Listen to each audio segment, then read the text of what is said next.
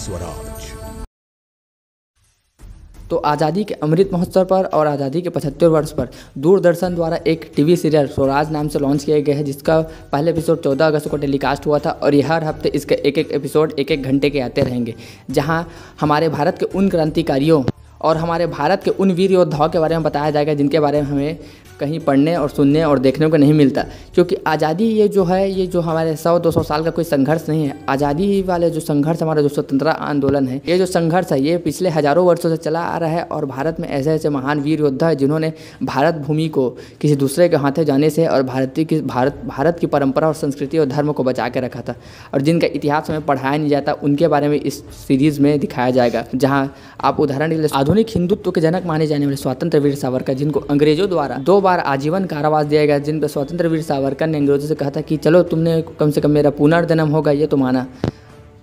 और यहाँ तक कि स्वतंत्र वीर सावरकर को भारत की आज़ादी का श्रेय तक नहीं दिया जाता था। और इनके अलावा बाल गंगाधर तिलक राम प्रसाद बिस्मिल और चंद्रशेखर आज़ाद छत्रपति शिवाजी महाराज जो इतने इतने महानतम चरित्र थे जिन्होंने हमारे आज़ादी के लिए, जिन्होंने हमारी स्वतंत्रता के लिए इतना संघर्ष किया, अपने आप को बलिदान कर दिया, इनके बारे में हमें दिखाया, पढ़ाया नहीं जाता। तो इसके बारे में इस सीरीज़ में दिखाया जाने वाला है और जो सच्चा इतिहास है, जो हमसे छुपा दिया गया, उनको बताया जाएगा। क्योंकि मैंने भी कई वीडियोज़ में अपने बताया है और बहुत सच्चाई भी है कि आज़ादी का श्रेय केवल एक, दो नामों को दे दिया जाता है और बाकी सभी को भुला दिया जाता है। जो कि ये ठीक नहीं है, क्योंकि आज़ादी केवल एक, दो लोगों से नहीं मिलती। और आज़ादी के पीछे तो और कई सच्चाई है जिसको किसी और वीडियो में हम लोग बात करेंगे, क्योंकि आज़ादी किसी बिना तक, बिना घड़क, बिना ढाल के नहीं मिलती। जैसे कि आज़ादी में जो जो इन्होंने कितने भूमिका निभाई, जैसे बाल गंगाधर तिलक ताट्या चौपे चंद्रशेखर आज़ाद, राम प्रसाद बिस्मिल, इन सबने इतनी भूमिका निभाई, लेकिन आपको इनके बारे में क्या पता है? आप केवल अगर जानते भी होंगे तो इनका नाम जानते होंगे। इन, इन्होंने क्या कार्य किया इन्होंने क्या बलिदान दिया, इसके बारे में हम लोग को पता ही नहीं, क्योंकि हमें पढ़ाया नहीं जाता, हमें कहीं इसके बारे में बताया नहीं जाता। तो दूरदर्शन द्वारा और सरकार के द्वारा एक बहुत अच्छा निर्णय लिया गया है कि जो हमारे छुपे हुए, जिन, जिनके इतिहास को छुपा दिया गया, जिन्होंने हमारे संघर्ष किया जिन्होंने अपने आप को हमारे लिए बलिदान किया तो ये दूरदर्शन का बहुत अच्छा निर्णय है कि उन्होंने ये फैसला लिया कि स्वराज्य की टीवी सीरियल के माध्यम से उन छुपे हुए, उन जो महान गौरवशाली जो योद्धा है हमारे भारत के, स्वतंत्रता संघर्ष में जिन्होंने अपने आप को बलिदान करके, भारत की आज़ादी में जिन्होंने महत्वपूर्ण भूमिका निभाई, उनको जो भुला दिए गए, उनके बारे में इस टीवी सीरीज़ में दिखाया जाएगा। तो स्वराज, इस टीवी सीरियल का प्रसारण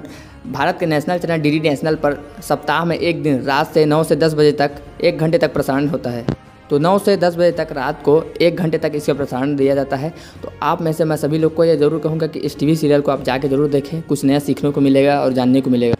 क्योंकि भारत में ऐसे ऐसे योद्धा हुए, ऐसे ऐसे क्रांतिकारी हुए, जिनके बारे में अगर हम मूवीज़ भी बनाना चाहें तो इसकी कई सीरीज़ कितनी लंबी सीरीज़ और कितनी बड़ी बड़ी मूवीज़ बन सकती है। क्योंकि भारत के सभी क्रांतिकारियों के जीवन इतने उतार चढ़ाव, इतने गंभीर और परिस्थितियों से भरा रहा कि यहाँ सस्पेंस और क्योंकि अगर इन पर मूवी भी बनी तो इसमें कोई सस्पेंस थ्रिलर डालने की ज़रूरत ही नहीं पड़ेगी क्योंकि इनका जीवन ही इतने संघर्षों से, इतने उतार चढ़ावों से भरा रहा कि यहाँ कोई मसाला डालने की ज़रूरत नहीं पड़ेगी। इनका जो जीवन है उसको सादा, सिंपल अगर थिएटर्स में दिखा दिया जाएगा तो सभी एक्सेप्ट कर लेंगे और सभी हैरान हो जाएँगे कि इतना संघर्ष कैसे कर सकते हैं। स्वराज के और बहुत सारे एपिसोड आने वाले हैं तो आप सभी से मैं यही कहना चाहूँगा कि प्रत्येक सप्ताह आप रात नौ से दस, एक घंटा इस टीवी सीरीज़ को ज़रूर दीजिए, जिससे हमें, आपको, हमें, हम सभी को भारत के बारे में जानने को, भारत के गौरवशाली इतिहास के और उनके महान बलिदानियों के बारे में जानने का मौका मिलेगा और हमें इससे कुछ नया सीखने को मिलेगा।